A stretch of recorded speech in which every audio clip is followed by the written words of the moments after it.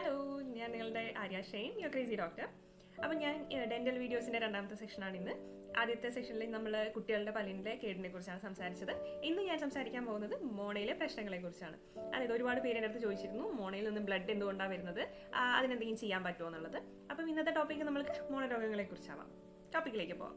മോണ രോഗങ്ങളെ കുറിച്ച് സംസാരിക്കുന്നതിന് മുൻപ് മോണ എങ്ങനെയാണ് ഹെൽത്തി ആകുമ്പോൾ ഉണ്ടാവുക എന്നുള്ളത് നിങ്ങൾ മനസ്സിലാക്കണം. ഏകദേശം ഇതുപോലെയാണ് ഉണ്ടാവുക. മോണയും പല്ലുമായിട്ടുള്ള അറ്റാച്ച്മെന്റ് വളരെ സ്ട്രോങ് ആയിരിക്കും.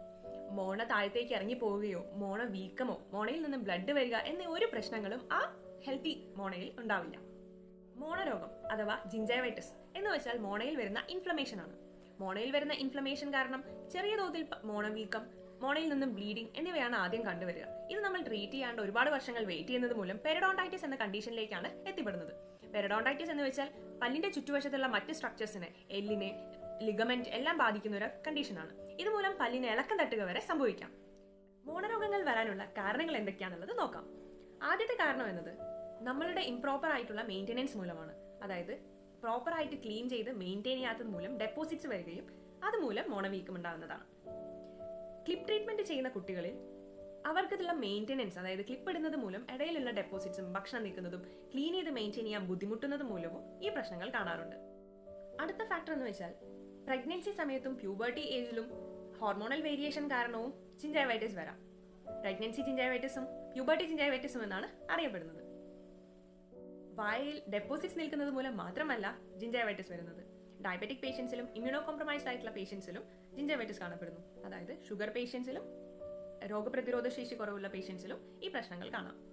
ഇത് മാത്രമല്ല ചില മരുന്നുകൾ കഴിക്കുന്നത് മൂലം ബി പിക്കുള്ള മരുന്ന് കഴിക്കുന്നത് മൂലം രോഗപ്രതിരോധ ശേഷിക്കുള്ള മരുന്നുകൾ കഴിക്കുന്നത് ഓറൽ കോൺട്രസെപ്റ്റീവ് പിൽസ് കഴിക്കുന്നത് ഇതെല്ലാം മോണരോഗങ്ങൾക്ക് ഒരു കാരണമാകുന്നു.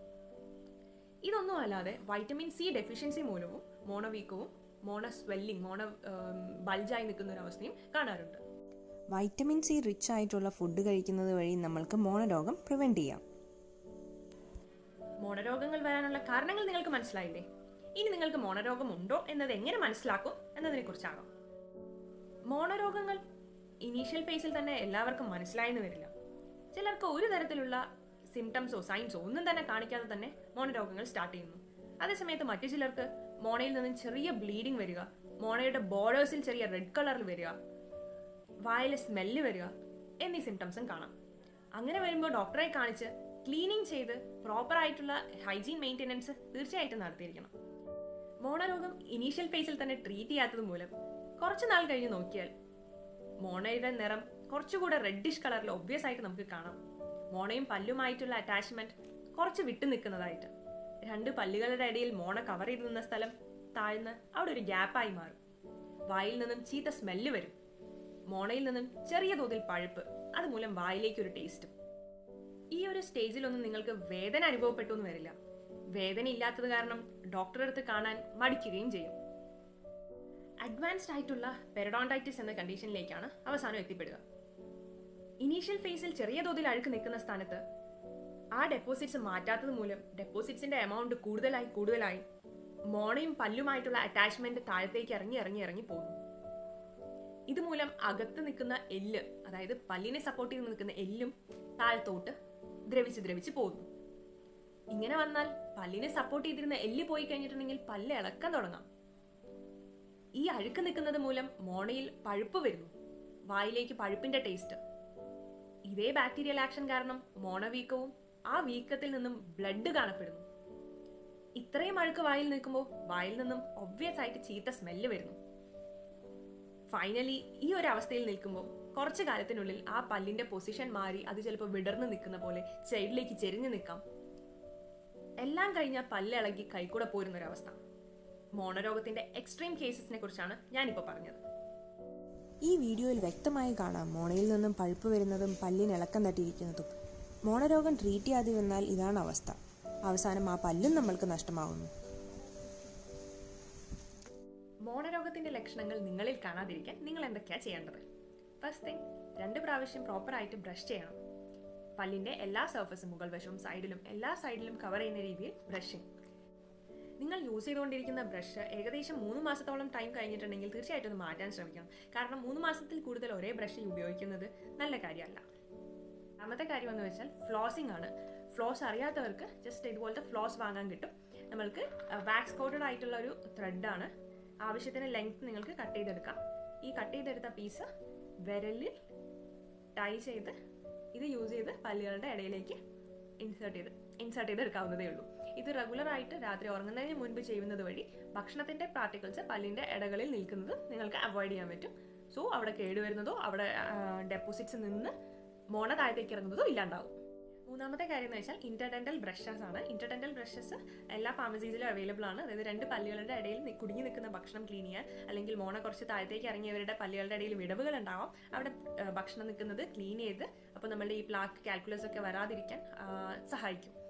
ഇതാണ് ഇന്റർഡെന്റൽ ബ്രഷ് ഇന്റർഡെന്റൽ ബ്രഷ് നമ്മൾ ഉപയോഗിക്കുന്നത് മോണ താഴ്ന്ന് പല്ലുകളുടെ ഇടയിൽ സ്പേസ് വന്നിട്ടുള്ള സ്ഥലത്ത് ഭക്ഷണം കൊടുക്കുന്നത് ക്ലീൻ ചെയ്യാനാണ്. ഇത് വളരെ സോഫ്റ്റ് ആയിട്ടുള്ള ബ്രഷ് ആയതുകൊണ്ട് തന്നെ നമ്മൾക്ക് മോണയിൽ വേറെ പ്രശ്നങ്ങളോ ഇഞ്ചുറിയോ ഒന്നും സംഭവിക്കുന്നില്ല. ഇതേ സമയത്ത് ടൂത്ത് പിക്ക് ഉപയോഗിക്കുന്നതോ സേഫ്റ്റി പിൻ ഉപയോഗിച്ച് നിങ്ങൾ ക്ലീൻ ചെയ്യുന്നത് മൂലം മോണ താഴത്തേക്ക് കൂടുതലായി ഇറങ്ങിപ്പോവുകയാണ് ഉണ്ടാവുക. നാലാമത്തെ കാര്യം എന്ന് വെച്ചിട്ടുണ്ടെങ്കിൽ മൗത്ത് വാഷ് ഉപയോഗിക്കുന്നതാണ്. മൗത്ത് വാഷ് ഉപയോഗിക്കുന്നത് എന്നും ഡെന്റിസ്റ്റിന്റെ പ്രിസ്ക്രിപ്ഷനോട് കൂടി ചെയ്യുന്നതായിരിക്കും നല്ലത്. കാരണം നിങ്ങളുടെ മൗത്തിലുള്ള പ്രോബ്ലത്തിനനുസരിച്ച് ഏത് തരത്തിലുള്ള മൗത്ത് വാഷ് ഉപയോഗിക്കണം എന്നുള്ളത് ഡോക്ടർക്കാണ് കൂടുതലായിട്ട് അറിയുന്നുണ്ടാവുക. സെയിൽസിലുള്ള എല്ലാ തരത്തിലുള്ള മൗത്ത് വാഷസും വാങ്ങിച്ച് ഉപയോഗിക്കുന്നത് അവോയ്ഡ് ചെയ്യാൻ ശ്രമിക്കാം.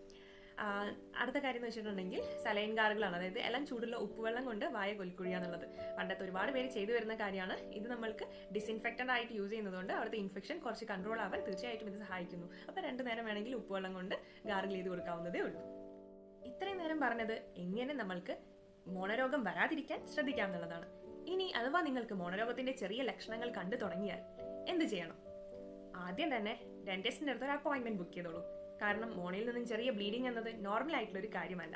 എന്തായാലും മോണയല്ലേ ബ്ലീഡ് ആവും എന്നൊരു ചിന്താഗതി ഒരിക്കലും വരരുത്. കാരണം മോണയിൽ നിന്നും ബ്ലീഡ് ആവുന്നത് ഒരു നാച്ചുറൽ പ്രോസസ്സ് അല്ല. അവിടെ നിങ്ങൾക്ക് മോണരോഗത്തിന്റെ സ്റ്റാർട്ടിംഗ് ആണെന്ന് നിങ്ങൾ മനസ്സിലാക്കണം. ഡെന്റിസ്റ്റിനെ കണ്ട് നോർമൽ ആയിട്ടുള്ള ഒരു ക്ലീനപ്പ് അതായത് പല്ലിന്റെയും മോണയുടെയും ഇടയിൽ നിൽക്കുന്ന അഴുക്കിന്റെ അംശം മുഴുവൻ പോയി കഴിഞ്ഞാൽ നിങ്ങളുടെ മോണവീക്കത്തിൽ നിന്നും നിങ്ങൾക്ക് ആശ്വാസം എന്തായാലും കിട്ടും. ആ ഡെപ്പോസിറ്റ്സ് ക്ലീൻ ചെയ്യുന്നത് അൾട്രാസോണിക് സ്കെയിലേഴ്സ് യൂസ് ചെയ്ത് വൈബ്രേഷൻ മെത്തേഡിലാണ് ചെയ്യുന്നത്. അപ്പോൾ ഒരിക്കലും നിങ്ങളുടെ ഇനാമൽ തേഞ്ഞു പോവുകയോ ഇനാമൽ ട്രിം ഓഫ് ചെയ്യുന്നതോ നമ്മളിവിടെ ചെയ്യുന്നില്ല.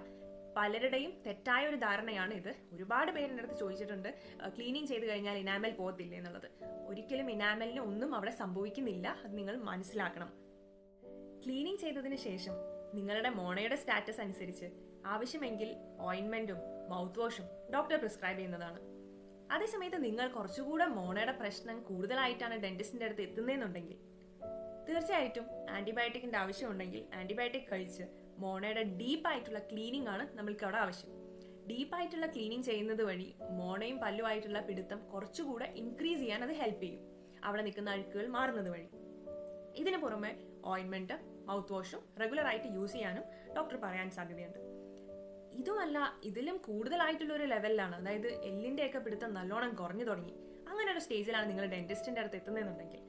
എക്സ്റേ എടുത്ത് നോക്കി എത്രത്തോളം എല്ല് തേയ്മാനം വന്നിട്ടുണ്ട് എന്നുള്ളത് മനസ്സിലാക്കി പെരിയോഡോണ്ടിസ്റ്റ് അഥവാ മോണയുടെ സ്പെഷ്യലിസ്റ്റ് ഡോക്ടറിന്റെ അടുത്ത് അപ്പോയിന്റ്മെന്റും നിങ്ങളുടെ നോർമൽ ആയിട്ടുള്ള ഒരു ഡെന്റിസ്റ്റ് തന്നെ ഫിക്സ് ചെയ്യുന്നതാണ്. മോണ താഴത്തോട്ട് ഇറങ്ങുന്നതിന്റെ കൂട്ടത്തിൽ എല്ലും താഴത്തോട്ട് ഇറങ്ങി നിങ്ങളുടെ പല്ലിന്റെ പിടുത്തം കുറഞ്ഞു വരുന്ന ഒരു കണ്ടീഷനിൽ നിങ്ങൾക്ക് ഫ്ലാപ്പ് സർജറിയുടെ ആവശ്യമാണ് വേണ്ടത്.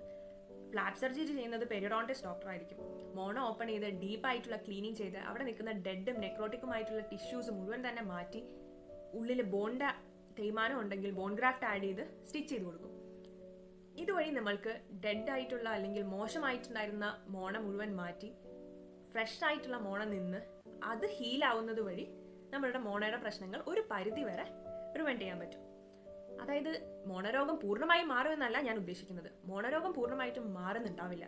കാരണം മോണയുടെ പ്രശ്നം വൺസ് വന്നു കഴിഞ്ഞാൽ നമ്മൾക്ക് മെയിന്റെനൻസ് എന്നൊരു ഫാക്ടറാണ് ഇമ്പോർട്ടന്റ് നമ്മൾക്ക് ഡയബറ്റിക്സ് വന്നു കഴിഞ്ഞിട്ടുണ്ടെങ്കിൽ അതേസമയത്ത് ആർത്രൈറ്റിസ് പ്രോബ്ലം ഉണ്ടെങ്കിൽ ഇതൊക്കെ നമ്മൾ മെയിന്റെയിൻ ചെയ്യാൻ വേണ്ടി അതായത് ഷുഗറിന്റെ ലെവൽ പ്രോപ്പറായി മെയിന്റെയിൻ ചെയ്ത് കൂടുതലാവാതിരിക്കാൻ വേണ്ടിയിട്ടാണ് നമ്മൾ മരുന്ന് കഴിക്കുന്നത്. അതുപോലെ തന്നെ ഡെന്റൽ ക്ലീനിങ്ങും ഡീപ്പ് ക്ലീനിങ്ങും കാര്യങ്ങളൊക്കെ മോണരോഗത്തിന് ചെയ്യുന്നത് തീർത്തും മോശമായി പല്ലലകി പോകുന്ന ഒരു അവസ്ഥ വരാതിരിക്കാൻ വേണ്ടി മാത്രമാണ്. അതേസമയത്ത് പൂർണമായും മാറി എല്ലാം എന്റെ പണ്ടത്തെ ഹെൽത്തി ജിഞ്ചാവയിലേക്ക് മാറും എന്നൊരു കോൺസെപ്റ്റ് ഒരിക്കലും മോണരോഗത്തിന് ഇല്ല. ഇതിന് പോലത്തെ ട്രീറ്റ്മെന്റ് എന്ന് വെച്ചിട്ടുണ്ടെങ്കിൽ ലേസർ യൂസ് ചെയ്ത് ചെയ്യുന്ന ഫ്ലാപ്പ് സർജറിയാണ് അതായത് ലേസർ യൂസ് ചെയ്ത് ചെയ്യുന്ന ഡീപ്പ് ക്ലീനിങ് വളരെ അഡ്വാൻസ്ഡ് ആയിട്ടുള്ള ഒരു പ്രൊസീജിയറാണ് ഇത്തരം കാര്യങ്ങളാണ് നമ്മൾ ട്രീറ്റ്മെന്റ് സൈഡ് അതായത് മോണരോഗത്തിനും മോണയുടെ രോഗത്തിന്റെ എക്സ്ട്രീം കണ്ടീഷൻസിലും ട്രീറ്റ്മെന്റ് ചെയ്യേണ്ട മെത്തേഡ്സും ഞാനിപ്പോൾ പറഞ്ഞു കഴിഞ്ഞിട്ടുണ്ട്.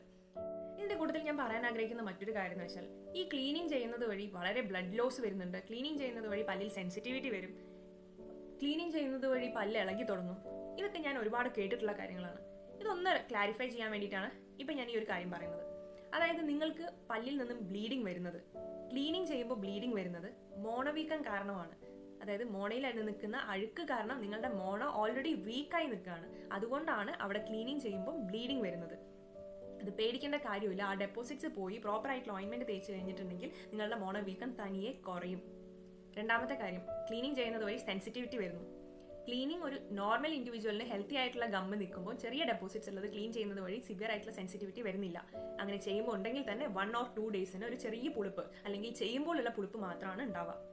അതേസമയത്ത് ഡെപ്പോസിറ്റ്സ് വളരെ അധികം നിൽക്കുന്നത് മൂലം അത് ക്ലീൻ ചെയ്യുമ്പോൾ നമ്മളുടെ വേരിന്റെ സർഫസ് മോണയ്ക്കിടെ സൈഡിൽ അഴുക്ക് നിന്ന് വേരിന്റെ സർഫസ് വരയ്ക്കും അഴുക്ക് നിന്ന് ആ അഴുക്ക് പോകുമ്പോൾ വേരിലോട്ട് തണുപ്പ് തട്ടുമ്പോഴും വേരിലോട്ട് വെള്ളം തട്ടുമ്പോഴുമാണ് നിങ്ങൾക്ക് സെൻസിറ്റിവിറ്റി അനുഭവപ്പെടുന്നത്. അത് ഒരിക്കലും ക്ലീനിങ് ചെയ്യുന്നത് മൂലം എനാമൽ പോകുന്നത് മൂലം അല്ല. മൂന്നാമത്തെ കാര്യം. ക്ലീനിങ് ചെയ്യുന്നത് വഴി പല്ല് ഇളകി തുടങ്ങുന്നു. പല്ല് ക്ലീനിങ് ചെയ്യുന്നത് വഴി ഇളകി തുടങ്ങില്ല. ക്ലീനിങ് ചെയ്യുന്നത് വഴി പല്ല് ഇളകി തുട- തുടങ്ങാൻ കാരണം അത്രയേറെ അഴുക്ക് നിന്ന് അഴുക്കിന്റെ ബലത്തിലാണ് ആ പല്ല് അവിടെ പിടിച്ചു നിൽക്കുന്നത്.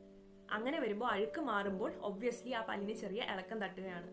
ഇത് നമ്മൾ ക്ലീനിങ് ചെയ്തത് മൂലം വരുന്ന ഇളക്കം അല്ല.